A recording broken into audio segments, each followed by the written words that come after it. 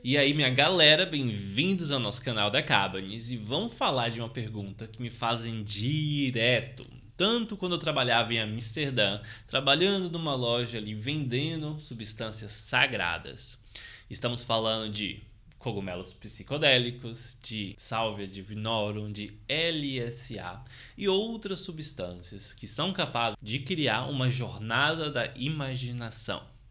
E muitas das pessoas que vão começar nessa jornada de exploração psicodélica, eles vão com bastante expectativa. E uma coisa que acontece bastante é que o pessoal vem aqui e me fala: ó, consumir 2 gramas, 3 gramas, uma certa quantidade de cogumelos, mas não senti nada. Às vezes é com ayahuasca, às vezes pode ser até com cannabis. Fiz alguma coisa de errado? O que, que pode ter acontecido? Então vamos falar sobre isso hoje. Primeiro, é importante entender os básicos da experiência psicodélica. E se você for iniciante, especialmente, olhe os outros vídeos aqui no canal, que a gente fala sobre preparação, sobre o que esperar e também converse com as outras pessoas. Procure até auxílio profissional. Existem coaches de integração, existem também até lugares que fazem retiros profissionalmente e vão ter um profissional para te ajudar nessa jornada de preparação, na jornada psicodélica em si, para você lidar com os efeitos e conseguir chegar naqueles lugares que vão engajar você em uma jornada de transformação e também na integração, porque a maior parte dos benefícios de uma experiência psicodélica não vem no dia da experiência, mas vem nos, nos dias, semanas, às vezes até meses depois da experiência, que é quando você vai refletir na experiência, nas lições, insights e ver como que você consegue aplicar isso na sua vida de uma forma prática. E hoje em dia existe uma demanda para profissionais da integração psicodélica, que são pessoas que vão criar um roteiro para você conseguir transformar suas experiências psicodélicas em desenvolvimento pessoal. Mas é isso que você se preparou, já sabe o que esperar e tal, você vai ter uma experiência psicodélica, consumir uma quantidade talvez até grande de uma substância como cogumelo mágico, ayahuasca ou outras substâncias psicodélicas e não sentiu nada. O que, que pode ter sido? Existem muitas razões que podem ter contribuído para que você não tenha sentido os efeitos de uma substância psicodélica.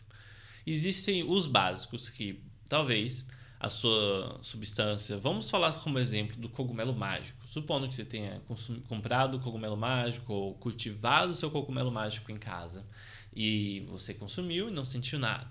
Muitas vezes pode ter acontecido que no processo do cultivo ou no processo da secagem o cogumelo pode ter passado por temperaturas altas ou por outras razões, pode ter perdido a sua potência. Então, a razão número um é que a substância que você consumiu não foi potente o suficiente. Às vezes é porque a substância perdeu potência, ou às vezes é porque a dosagem não foi suficiente. Então, para muitos desses retiros profissionais que você vê, eles usam dosagens altas para garantir que a pessoa vai ter uma, uma experiência significativa e terapêutica. Mas isso não quer dizer que eles vão exagerar.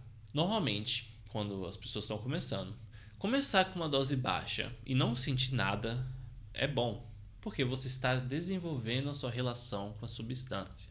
Agora, outra razão que é pouco convencional e o pessoal não aprecia muito é que Pense no contexto ancestral, em que essas culturas ancestrais no México, nos índios brasileiros, em outras culturas ancestrais, tinham essas substâncias psicodélicas, esses seus rituais de reza, ou então seus rituais de cura, em que uma pessoa, o xamã, o curandeiro, o pajé, o curandeiro, eles embarcam numa jornada no subconsciente, que é o que é a jornada psicodélica, às vezes assistida com substâncias psicodélicas, mas às vezes não leva nenhuma substância. São outros rituais, outros fatores que fazem a pessoa engajar em estados alterados de consciência. E eles acreditam que eles conseguem conversar, interagir com a substância como se fosse uma entidade, como se fosse uma pessoa ela conseguisse extrair informações úteis para a sua vida, às vezes um remédio para a cura de alguém que está doente na sua vila, e era assim que funcionava.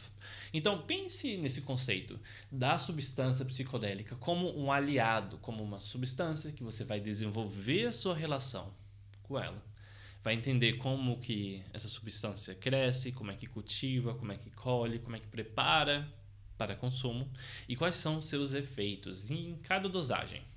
E assim, na medida que você vai conhecendo a substância e vendo como que ela te afeta, como que os efeitos interagem com você, e assim você vai desenvolvendo a sua relação. E às vezes sua relação está muito no início e não está na hora de você ter uma experiência muito forte. Mas isso não quer dizer que você não possa se introduzir com uma dose pequena e aos poucos conversando, desenvolvendo sua relação com essa substância. Então, essa é uma segunda razão para muitas pessoas não irem numa experiência psicodélica, é que elas consumiram uma dose da substância, mas ainda não está na hora de ter uma experiência forte. E isso é comum com muitas medicinas, como por exemplo cannabis. Muitas pessoas falam que na primeira vez não bate nada.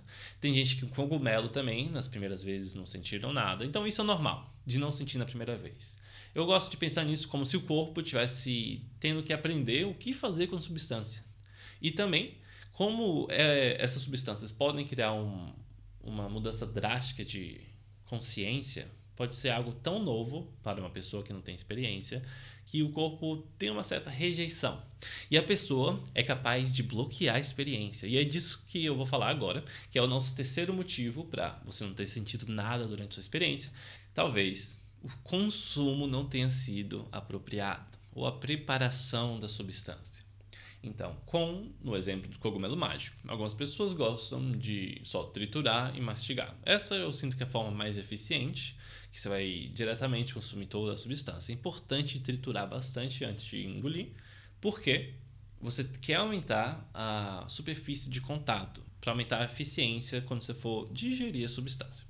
Para alguma dessas substâncias, como cogumelo mágico, é importante você estar com o estômago vazio, porque você vai ter que digerir esse produto. E se você estiver digerindo alguma outra coisa, às vezes uma carne que leva bastante tempo para digerir, isso pode atrapalhar na digestão do cogumelo. Mas com outras substâncias como o LSD, isso não é tão importante. Você pode estar com a barriga cheia, coloca o LSD embaixo da língua, que é o jeito tradicional, e os efeitos ainda assim vão acontecer. Ok, agora a nossa próxima razão para você não ter sentido nada durante sua trip foi, é a seguinte muitas pessoas, especialmente nas suas primeiras experiências, você leu vários relatos, viu vários vídeos, você tem várias expectativas e às vezes é isso o problema. Você quer ter uma certa experiência, você está esperando ter certos efeitos, você imaginou como são as alucinações, você ouviu as histórias, você quer ir para essas trips, mas não importa o quanto você leia, quanto as pessoas queiram comunicar, é muito difícil para você dizer para outras pessoas como que é estar numa experiência. E se você nunca teve uma experiência psicodélica, uma experiência mística, então é muito difícil que você consiga, só lendo relatos e ouvindo de outras pessoas, ter uma imagem correta do que, que vai ser uma experiência. O fato de vocês ter uma certa expectativa pode estar te cegando para o caminho que a substância quer te levar. Porque é um caminho novo, é algo que você nunca viu na vida. E o melhor estado de mente é ter uma mente curiosa, aberta e sem expectativas. É importante você ter sua intenção para a experiência, o que você quer aprender, como, o que você quer crescer com essa experiência. É importante.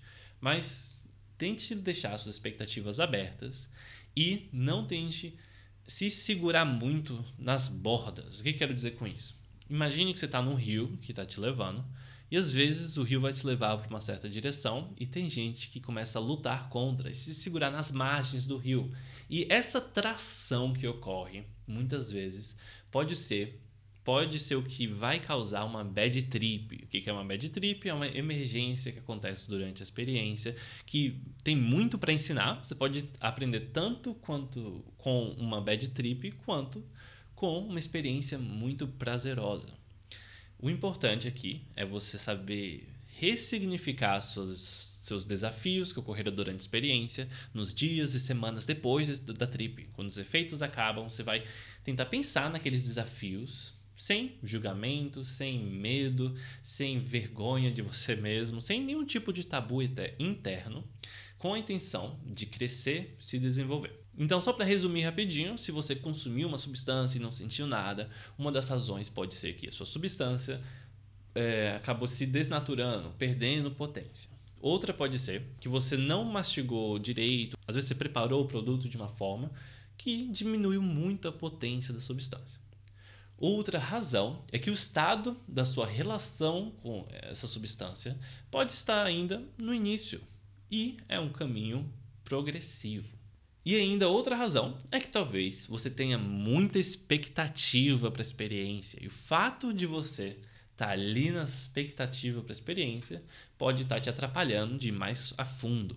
Então agora vamos para a nossa quinta e última razão para você não ter tido uma experiência psicodélica e é a seguinte: Entenda, especialmente se é a sua primeira vez, que você tem certo controle sobre a experiência. E tem gente que consegue bloquear uma experiência até as mais potentes totalmente e passa a não sentir os efeitos nenhum. Esse tipo de controle não é tão fácil de ter e é mais como uma arte.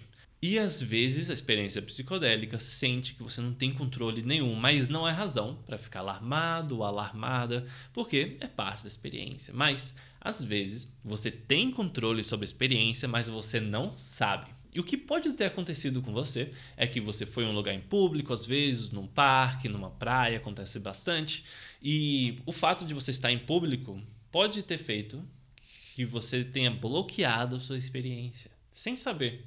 Então, se isso estiver acontecendo com você, é bom você se preparar adequadamente, procurando deixar o ambiente mais sugestivo para você conseguir embarcar numa jornada psicodélica sem você ficar se segurando. Então, galera, é isso. Essas são as dicas. Se você teve uma. Se você planejou uma experiência psicodélica, foi lá, fez tudo direitinho, consumiu e não sentiu nada, não precisa se preocupar. Esse é um processo progressivo. Você vai desenvolvendo sua relação com essa substância e não precisa ter pressa. Uma das coisas que o iniciante, uma pessoa que nunca foi numa experiência psicodélica, tem problema de entender é que você não precisa ter uma droga para você ter essas experiências místicas essas experiências podem acontecer mesmo que você só fica no seu quarto ali por 4, 6 horas pensando sobre uma intenção e deixe sua mente fluir. Você pode ter uma experiência psicodélica também. Só que o que acontece é que com o cogumelo mágico, com LSD, com ayahuasca, com mescalina, que é o ingrediente do, do cactus psicodélico, essas substâncias têm uma capacidade de criar um contexto. E esse contexto é rico. É um solo que vai ser fértil para insights, epifanias, lições e vão te permitir ter um novo ponto de vista do mundo e de você mesmo, de ter uma nova relação com seu ego e te permitir dar um passo atrás e observar esse ego uh, e ter um maior controle sobre a sua mente. Se você quer mais suporte sobre isso, ainda tem algumas dúvidas, checa o nosso Telegram, que é um grupo da nossa comunidade de suporte. Chega aqui que a gente pode conversar mais sobre isso. Além disso, tem o nosso Instagram e outros vídeos no nosso canal. Temos também o canal em inglês, se você sabe falar inglês, e quer mais conteúdo. Muito obrigado por assistir e tenha uma ótima jornada.